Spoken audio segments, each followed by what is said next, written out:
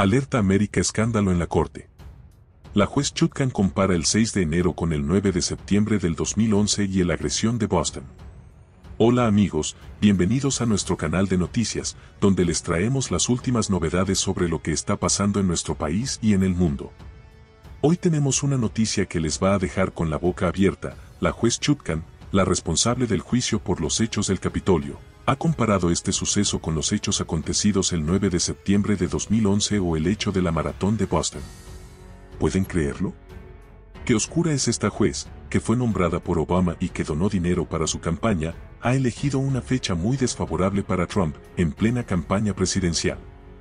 El juicio comenzará el 4 de marzo de 2024, justo un día antes del Supermarks, una jornada crucial para las elecciones.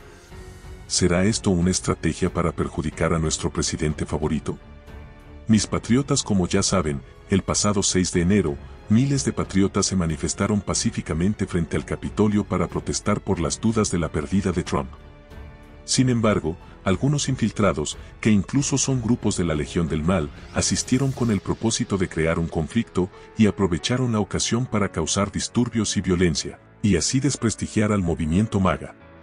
Estos infiltrados oscuros fueron instigados por grupos radicales como Antifa o Black Lives Matter, que cuentan con el apoyo de los demócratas y los medios de comunicación al servicio de la oscuridad.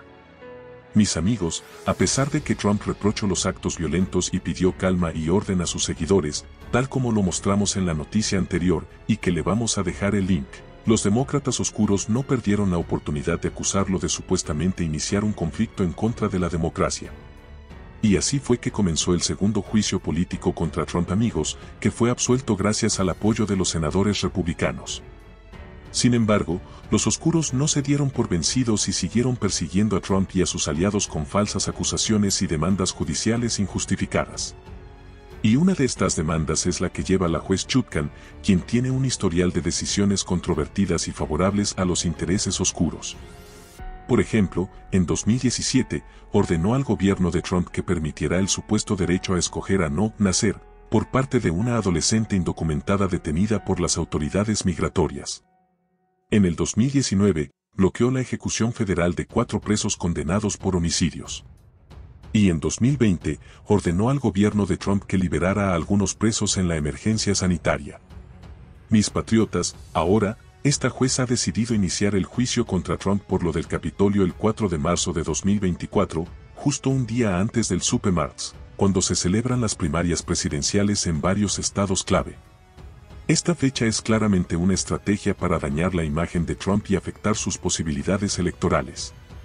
Estas agresiones fueron perpetradas por grupos extranjeros o radicales que causaron cientos de decesos y heridos.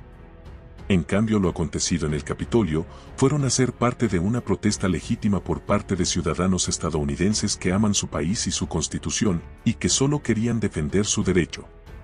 Con estas aclaraciones amigos, vemos que no hay ninguna comparación posible entre estos hechos.